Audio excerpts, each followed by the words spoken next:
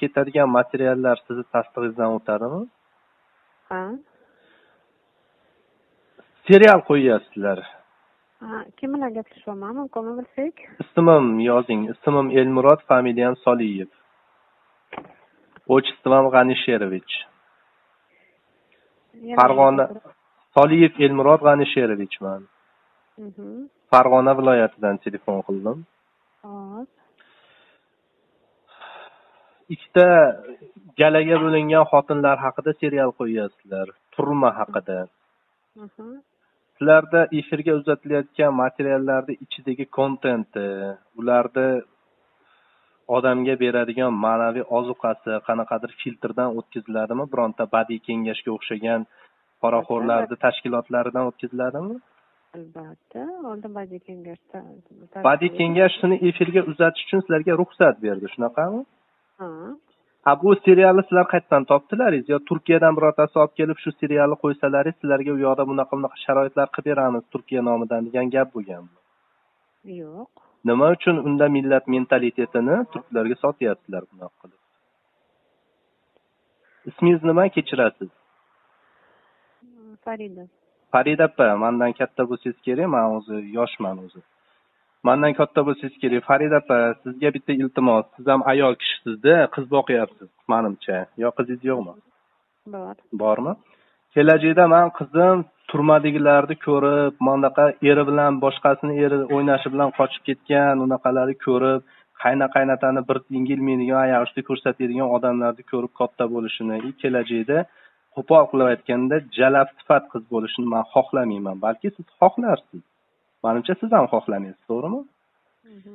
iltimos sizdan. Mana man hozir aytishim mumkin. Man hozir agar start beradigan bo'lsam ijtimoiy tarmoqlarda turk seriallariga qarshi bitta kompaniyaga start beradigan bo'lsam aniq bilaman besh milliondan kam odam manga qo'shilmaydi. Olti yetti million qo'shilishi aniq. Unaqada sizlarga qarshi нормальный chora ham ko'rishiga erishishimiz mumkin. Не только serialni efirdan olib tashlash даже chora ko'rishgacha erishishimiz mumkin. Shuning uchun sizlardan iltimos to'g'ri talablar bo'ladi. Voy bekor qilibsizlar qo'yavermaysizlarmi ha it huradi karvon o'tadi gapirsa gapiravermaydimi? Oldin o'zini uyiga qarasin bu yoqqa osilguncha deganlar chiqadi. Ular xalqni dushmanlari. Sizlar ularga gapiga quloq solmanglar maylimi? Sizdan iltimos farida opa tez kunlarda mana shu beta'sir bemaza seriallaringizni efirdan olingda o'rniga ma'naviy ozuqa beradigan tarixiy yo bo'lmasam turkiyani o'zbekiston bilan bog'laydigan qanaqadir mavzusi bor serial bo'lsa agar agar topolmasalaringiz mana arab davlatlarida eronda pokiston tataristonni kinolari bor ukrainani kinolari bor yaxshi kinolari bor. Mana hozir abdulhamid degan yangi serial mana mana shu serial zo'r mana пожалуйста. Mana hozir man sevimli bilan bog'lanolmayapman telefon qilsam sevimlini telefonini ko'tarib darakshi deyishyapti bitta ofisda joylashganku ular aviakassani yonida. Biz bitta ofisdamiz lekin bir birimiz telefonimizni bilmaymiz deyishyapti man spetsiально ertaga toshkentga boraman. Shu kanalni ichiga kirish uchun borib gaplashaman. Qani yaxshi ichi ko'nsa ko'ndi. Bo'lmasa bitta petitsiyani chiqaramanda o'n millionta odamni imzosini yig'ib turib kerakli joyga beraman. Kerak bo'lsa litsenziyasidan bekor qilishgacha erishishimiz mumkin. Faqat gapga kirsa bo'ldi. Kirmasa agar shu usulga o'tishga majburmiz. Abdulhamid ertug'rul пожалуйста ertug'rul mana xorazmshohlarni avlodi. Nima uchun turklar bizni otamiz deydi? Chunki ular bizni avloddan tarqagan millat bo'lgani uchun davlat bo'lgani uchun. Ertug'rul xorazmshohlarni mo'g'ullar bosib olgan paytda qochib ketgan bitta sarkardasi asos solgan usmoniy turklar imperiyasiga. Biz mana tarixni bilamiz. Bu seriallarni ko'rsak maza qilib ko'ramiz. O'g'illarimizga qizlarimizga mana mana bunaqa bo'lgan mana bunaqa bo'lgan bilib olgin deb uqtiramiz. Lekin oilada o'tirganda man onamni yonida kechirasiz ana seriallaringizni ko'rolmayapti. Hmm. Jiyanlarim bor bo'yiga yetayotgan qizlar bor o'n olti o'n yettiga kirayotgan qizlar.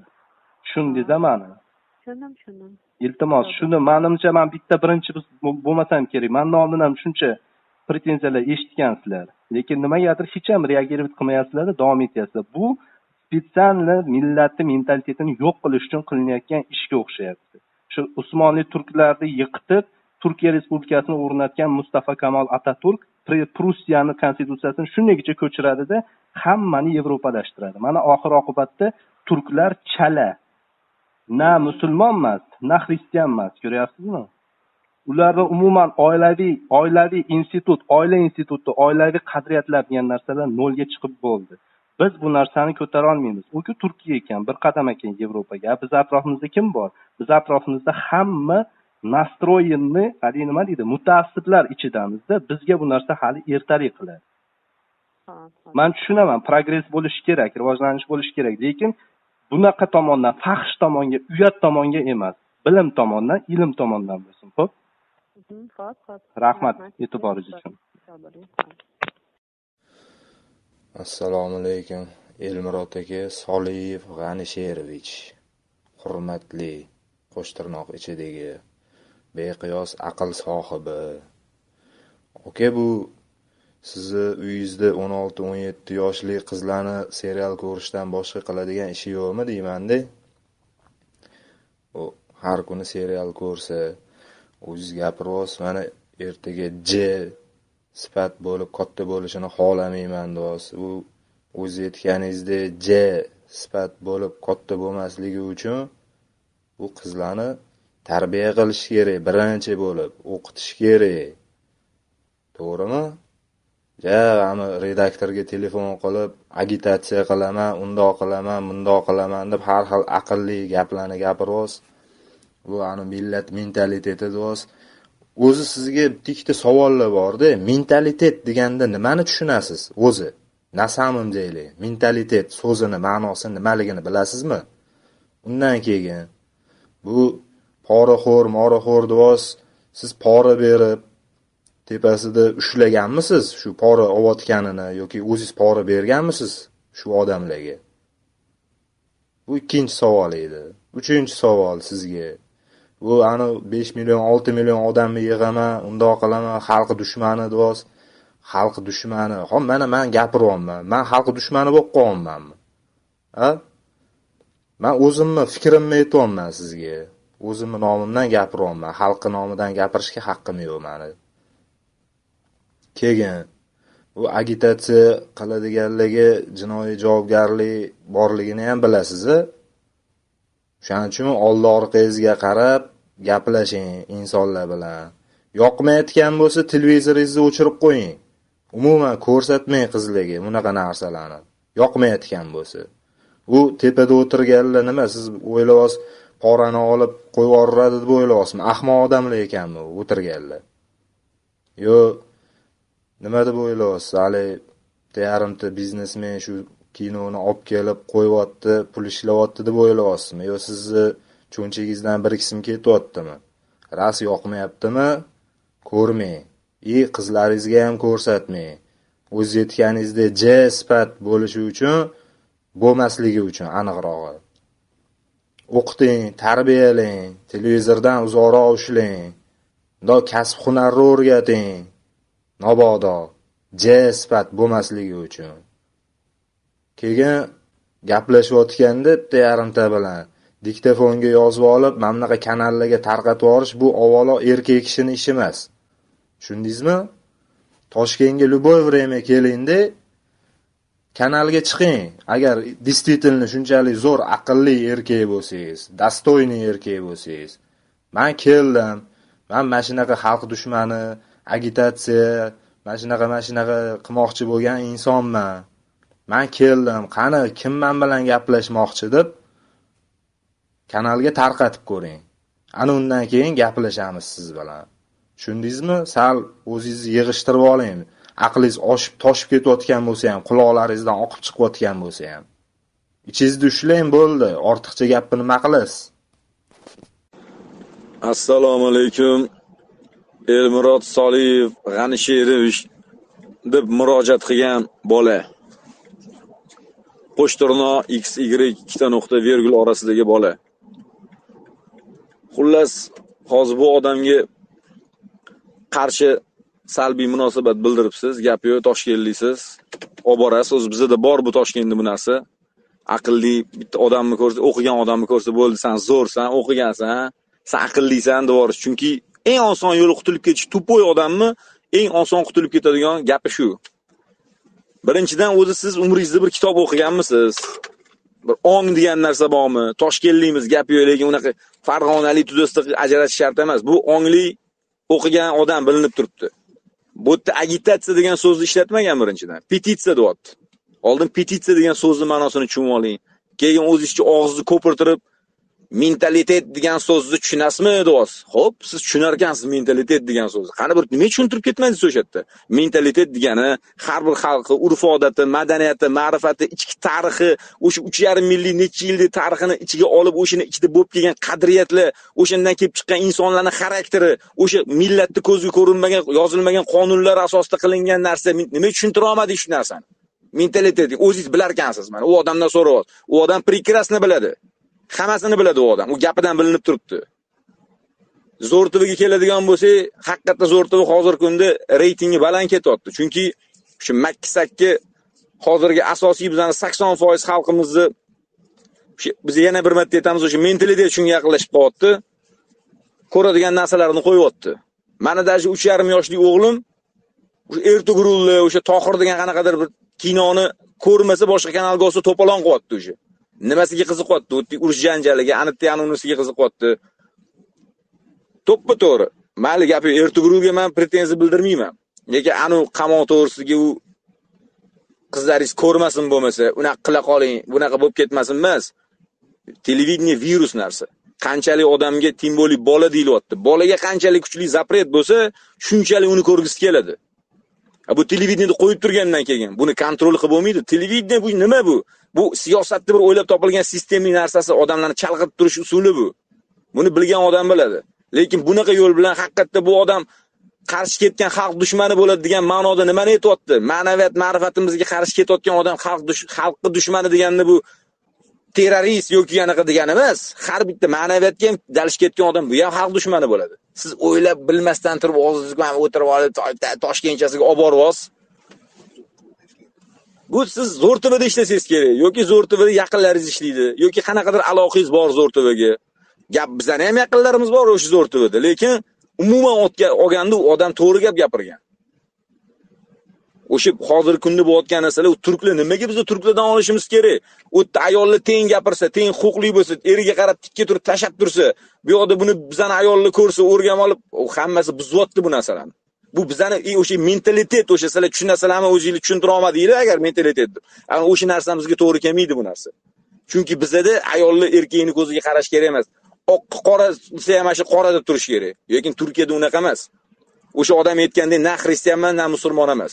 Mustafa otaturk bir ming to'qqiz yuz yigirmanchi yilda o'sha respublika qilgan paytda turkiston degan qo'ymoqchi bo'lgan. Lekin o'sha oldidagilari mustafa otaturkka o'zi aytgan turkiston emas turkiya deb qo'yamiz. Chunki turkistonni haqiqiy egalari bor. Ota ota bizni ota turk millatlarimiz deb uyg'urlarni o'zbeklarni buning uchun endi to'rt ulus tarixi degan kitob bor mirzo ulug'bekni agar erinmasanglar faqat sovet davrida chiqqan nashriyotni o'qimanglar ko'p xatolari bor. Keyinchalik mustaqillik to'qson beshinchi yildan chiqqan nashrni olib o'qisanglar to'rt ulus tarixini yoki biz kim o'zbeklar degan kitob bor. O'qinglar sal onginglarni oshiringlar bu panaytki bu toshkentchasiga o'xshatib yuborish bor aka aqllisiz qulog'ingizdan oqib ketibdi uni hamma biladi. Eng o'zimizni oddiy makki sakki yo'limiz bu. Kitob o'qimagandan keyin topib olgan vaqtimiz o'zimizga. Nimaga biz o'qishimiz bolalarimiz o'qishimiz kerak hozir? Mana shunaqa hech kim ahamiyat bermasa hamma shunaqa devor ursa mana shu ketaveramizmi bo'ldimi hayot pul topish anaqa kayf sopo tuda suda ketaveradi. Ma'naviyat ma'rifat degan narsa tupurdi sizni gapingizdan bilinib turibdi u odamdan ancha pastsiz siz bor ancha. U odam gрамотный odam. Mayli qatli nimali nima qanaqa gapirgan mayliyu просто to'g'ri gapni gapirgan. Og'zinglarga kelgan gapni gapiravermanglar zo'rtavada ishlaysizlarmi boshqadami? Chegarasi bor hamma narsani lekin. Sog' bo'linglar e'tiboringlar uchun rahmat. Assalomu alaykum hurmatli kanal a'zolari. Do'stim gapi yo'q sizga. Qoyil zo'r gapni gapirdingiz. Bu man ham toshkentlikman o'zim professorman kimyo fanlari bo'yicha. Bu farg'onalik do'stimizni zo'r tvga haqiqatdan ham zo'r tanbih berdi.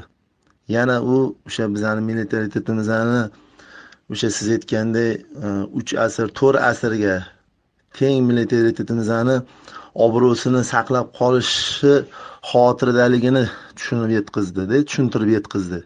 Man hozir gaplarim har xil pointer sointer chiqyapti uzr so'rayman. Man hozir emotsiyada o'tiribmanda sizni gapingizga ta'sirlanib ketdim. Sizdan oldingi mana toshkentlik boru oqib ketib poqib ketdi degan gapi bilanchi bizani toshkentliknichi yerga urish bilan teng barobar qilib qo'ydida ma'naviyatsizligini bildirib qo'ydi bu insonni.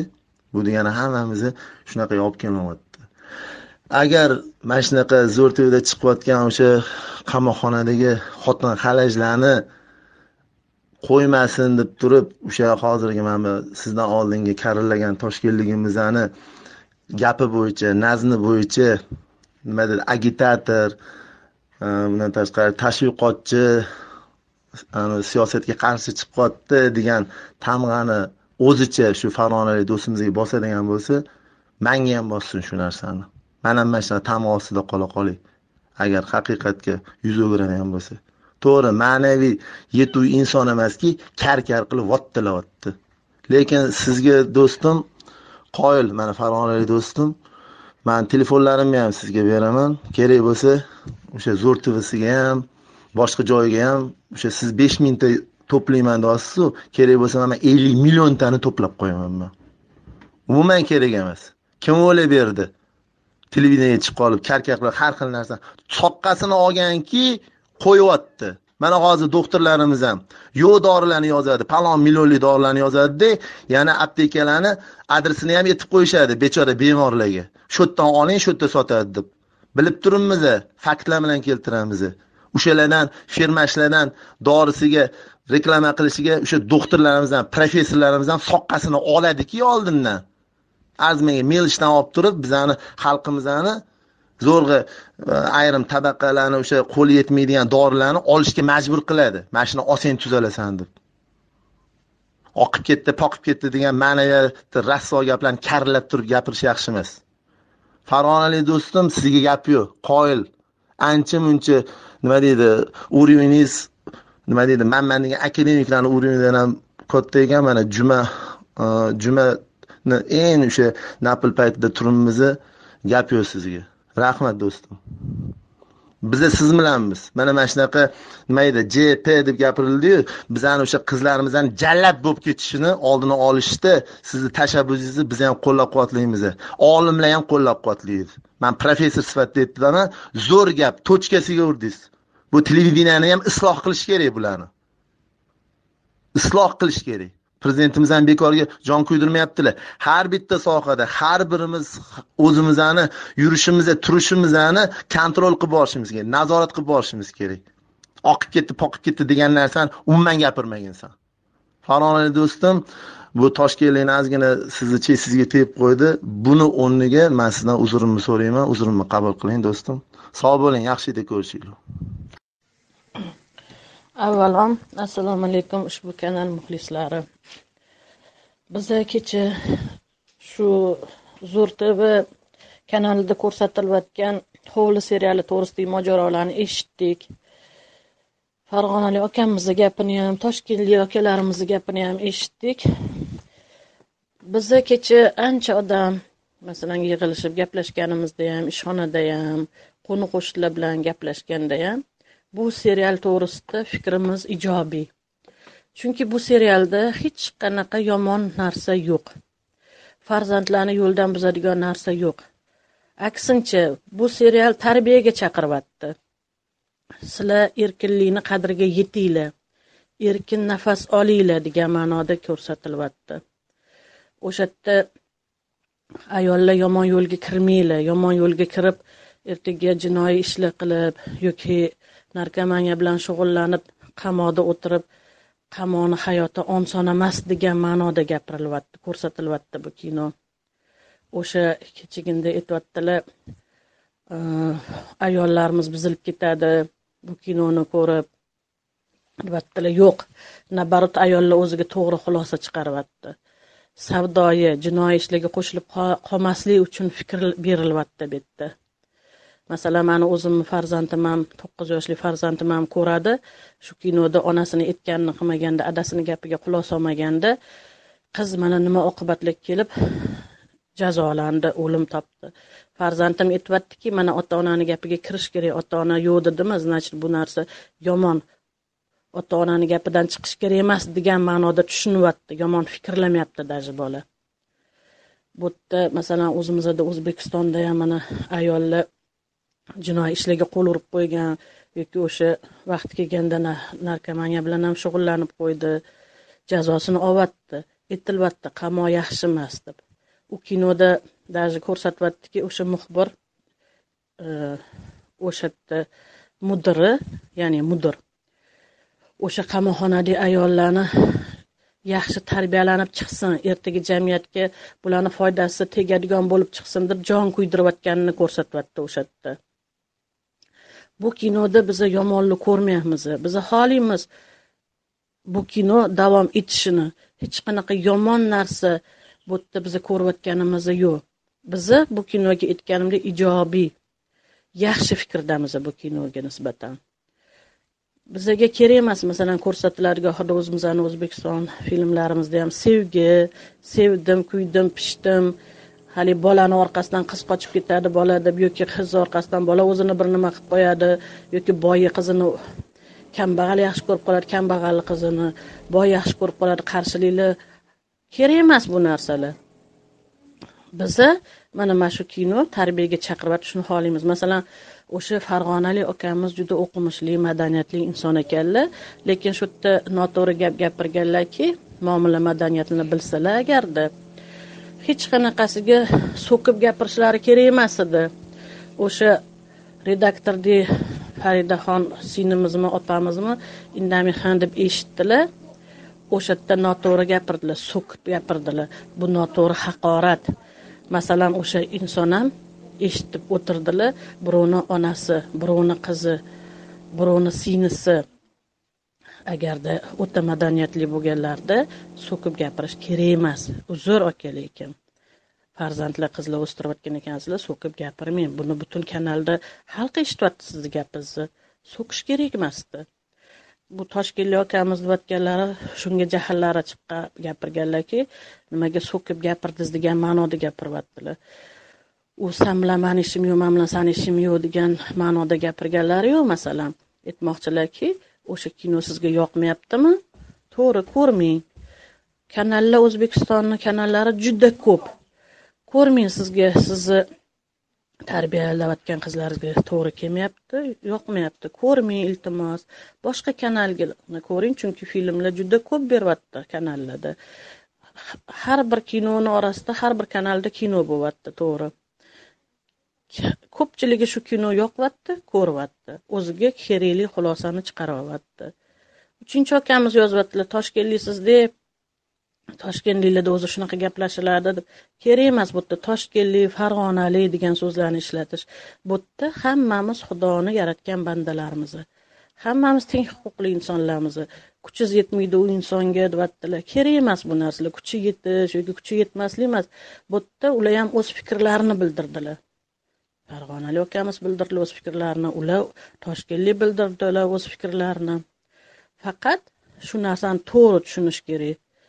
Sizlardan redaktordan iltimos qilamiz shu kinoni davom ettirishinglarni biz oxirigacha ko'rishni iltimos qilamiz. Biz ko'rish xohlaymiz shu kinoni. Bu kinoni yopmanglar to'xtatmanglar. Iltimos e'tiboringlar uchun rahmat. Assalomu alaykum aziz yurtdoshlar. Hozir mana opamiz gapirdilar. Uzr ismingizni bilmayman. Ismingizni aytmadingiz. Ho'p bu zo'r tv telekanalida berayotgan serialga kelsak opa hozir sizga aytyapsiz bolalarimizni tarbiyani ko'ryapti yomon yo'lga kirib ketmaydi deyapti deyapsiz hop mana shundan ko'rib bir o'ziga anaqa olyapti deyapsiz nima fikr uyg'ontiryapti o'sha kinodan bir o'ziga tarbiya olyapti deyapsiz u sizni bolangizda opa u o'ziga oladi u narsani. Sizni bolangiz oladi. Qolganlarni bolasi qanaqa oladi u? Ota onasi bor ularni boshida tarbiya beradigan. U sizlarni uyga o'xshab boshqalarni uyida tarbiyani bizada ota onalar berishadi boshqalarniki. U sizlarda bildik mana hozir sizlarda televizor tarbiya berar ekan bolalarga. Siz gapirsangiz demak gapingiz o'tmas ekanda opa mana shu televizorlarda gaplarni siz gapirsangiz demak bola olmas ekanda shu televizordan olar ekanda demak to'g'rimi? Shu man tushunishim mana shunaqa bo'lyaptida hozir siz gapirayotgan gaplaringiz. O'shani tushuntirib kelib chiqyaptida gapirayotgan gaplaringizdan. Bu bilmadim endi bu kop katta yoshli ayolga bunaqa gaplar yarashmasa kerak deb o'ylayman. U kinoni o'zi qo'yishlik o'zi boshidan xato bo'lgan edida o'zi to'g'risi ochiq gapda mana. Bu yarim yalang'och u televizorga chiqarib bu qayerda qoldi bizani o'zbek bir madaniyatimizni bizani. Qizlarda qani bizada? O'sha qizlar o'sha kiyimlarini mana ko'chada ko'rayotgan bo'lsanglar shunaqa kalta kalta shtonlar kiyib hop tor tor shimlarni kiyib oyog'iga krossovkalar kiyib yurishlar ana o'shalardan kirib kelyaptida bizaga.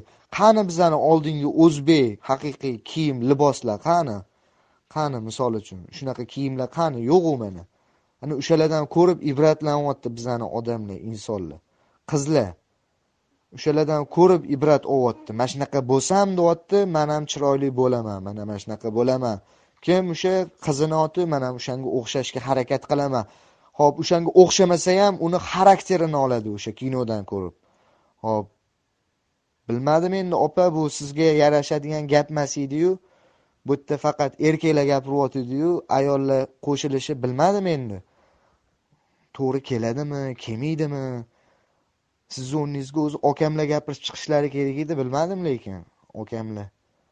Endi sizga mayli endi telefon berib gapirtirgan bo'lsalar endi bilmadim sizlarda.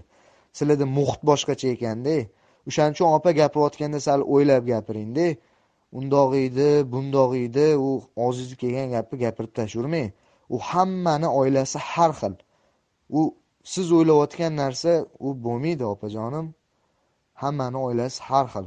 Qo'y ham echki ham o'zini oyog'i bilan osiladi. U siz gapirmang unaqa bo'lar bo'lmas gaplarni bu to'g'ri kelmaydi bizani o'zbekchiligiga bizani o'zani o'zbekchilik sharoitiga ham to'g'ri kelmaydi oilaviy muhitga ham to'g'ri kelmaydi bu qo'yilayotgan